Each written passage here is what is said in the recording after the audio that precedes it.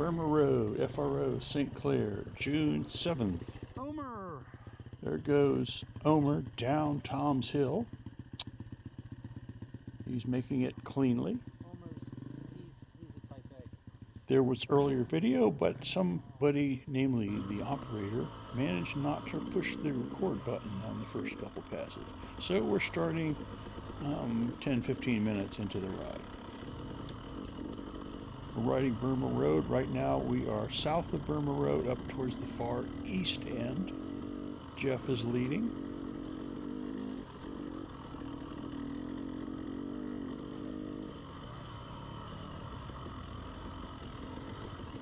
These are typical rocks for riding FRO.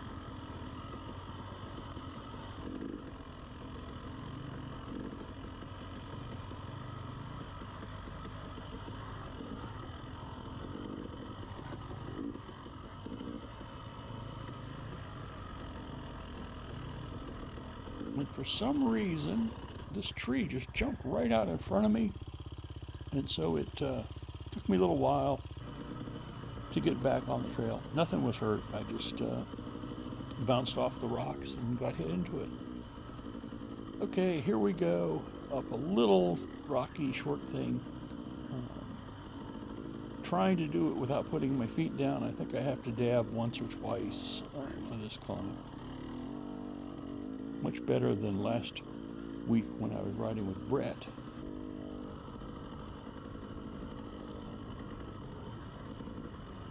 Now we're going to take the pavement down, back down to avoid a, a rocky downhill. And uh, Jeff is doesn't want to go too fast because he's got mousse in his instead of tubes. So I blow past him just to show him what real motorcycles look like. And of course, I'm only doing 45 because that's what the speed limit says.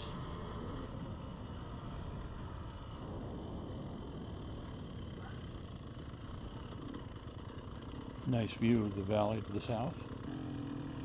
This is farther on, going through some mud puddles.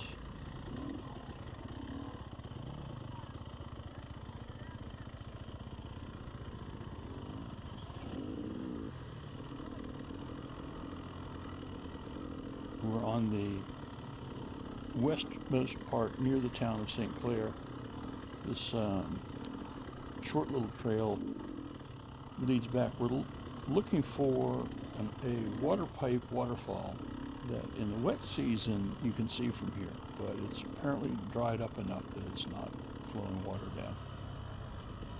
Here we are at the most southwest part of the property, looking at one of the tributaries So, to the drinkable water? Schuylkill. It's a nice red color, typical mine uh, tailing Oh, and is a good acid mine dripping and all that kind of good stuff. Here we're driving up to the Meadows Overlook.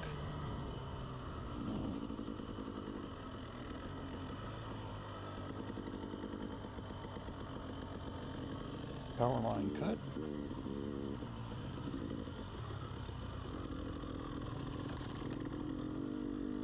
This is the early in the main east-west highway.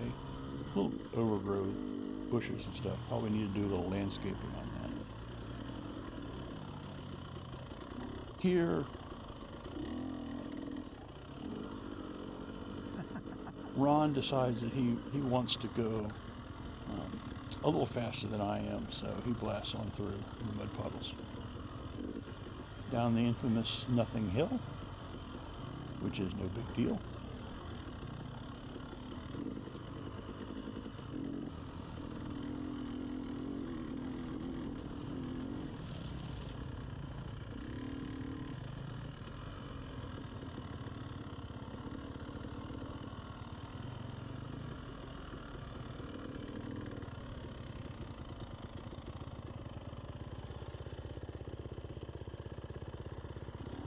Okay, now we're gonna we're gonna take the famous Rick's new secret single track, which isn't really that much secret. It's not, not that new, but it is definitely overgrown.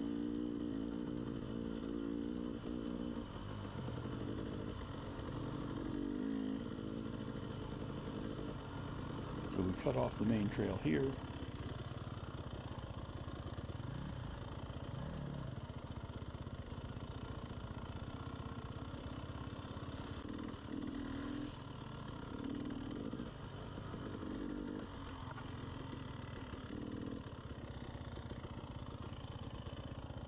These elephant ears really grow fast cover the trails.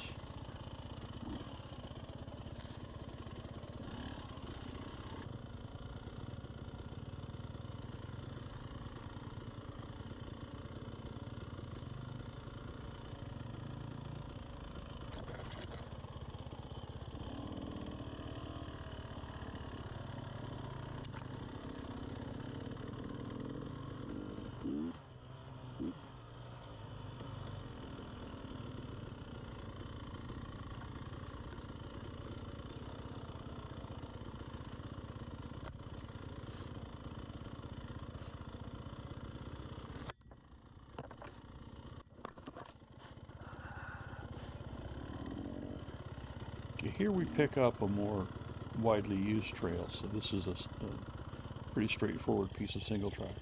I'm gonna let the other guys lead because they'll go faster and have more fun. Yeah, sure.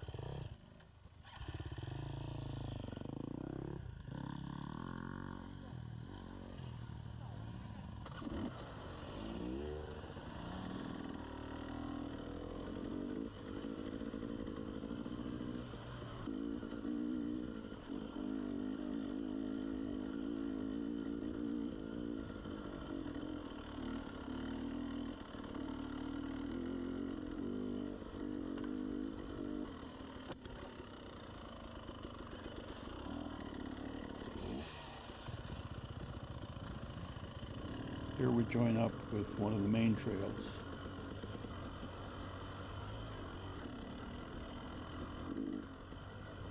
And take Jeff's new secret shortcut. Which is not very well marked, but we know where it is. It's got a pretty steep little drop here. So we'll head on down to the road.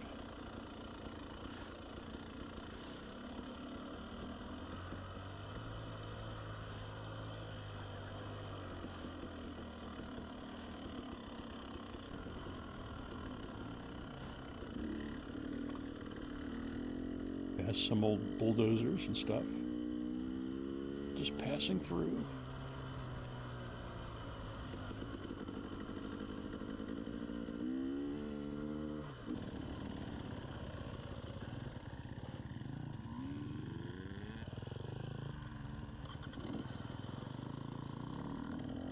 This is the entrance to the route for Rocks for Wally.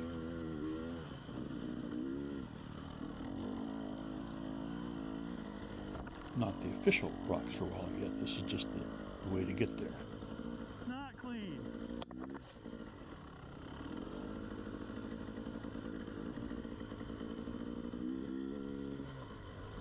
Okay, here we are entering the Rocks for Wally zone. Rocks for Wally.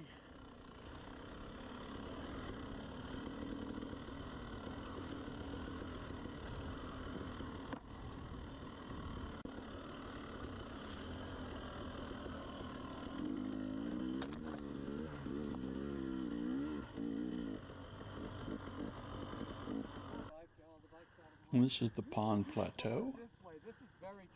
Rob is down there. Rob is down, gonna climb the hill. It's loose, but pretty straightforward.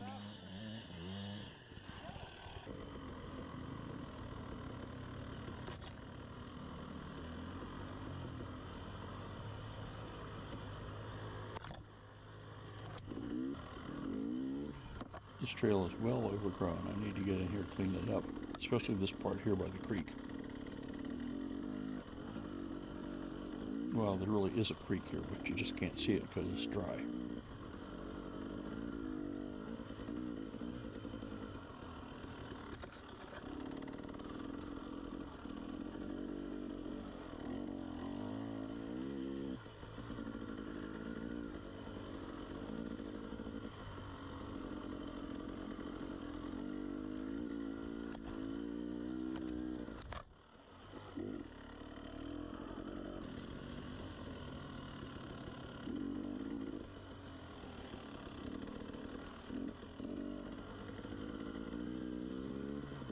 Now we're heading back up to the east-west highway. Coming down to cross Silver Creek Road.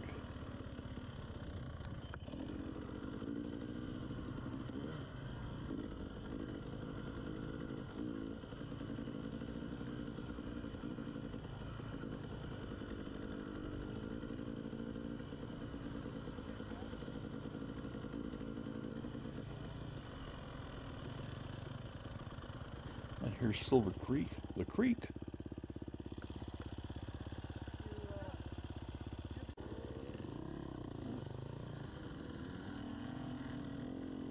Jeff first, then Rob, then Ron, and then me.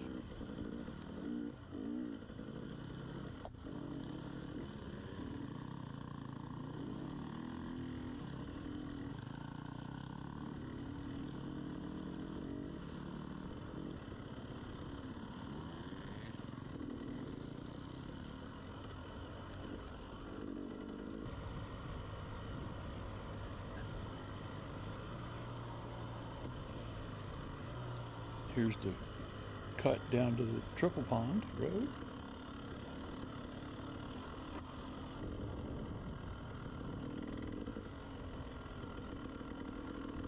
And the Triple Pond. See if we can see all the water. Yeah.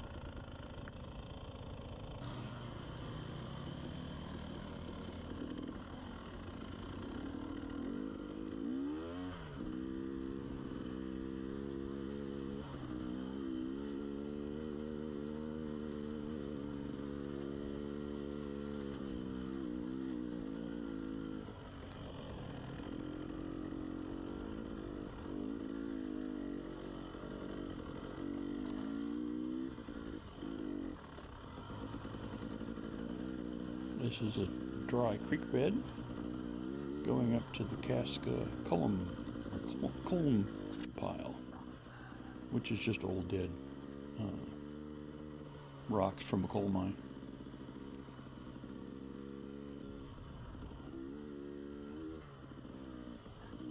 And here's the Casca pile, Culm, C-U-L-M.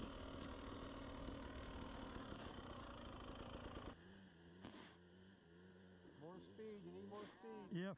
Here's Rob oh, coming up the hi- climb, getting his little sideways. You're wrong. I know. That was a hell of a recovery. The fish tail usually ends you.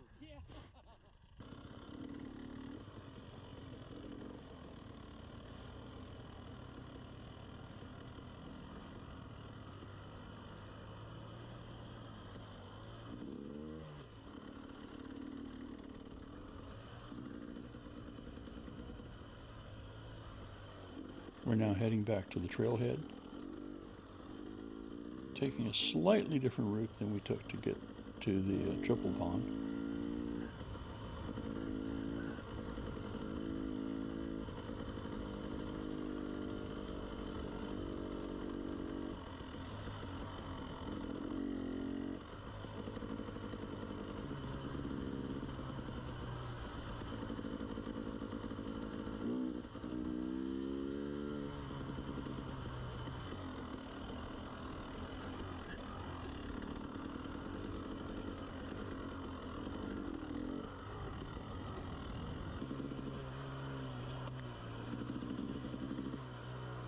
Crossing Silver Creek again.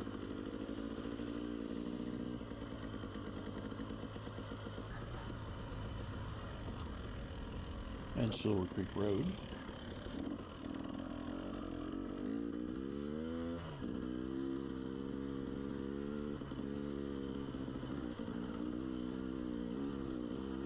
Actually a really nice day for riding. There it was uh, in June. It was only in the upper 70s, low 80s.